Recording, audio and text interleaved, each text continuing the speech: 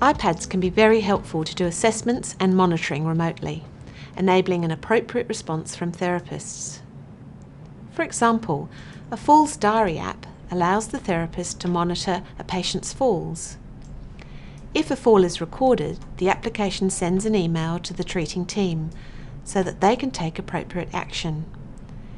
It is not designed to act as an emergency service, but can prompt a timely mobility review.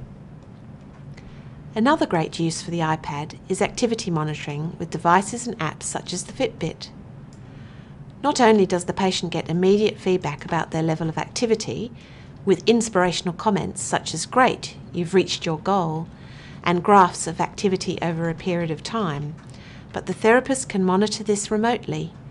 It has been shown to be a great motivator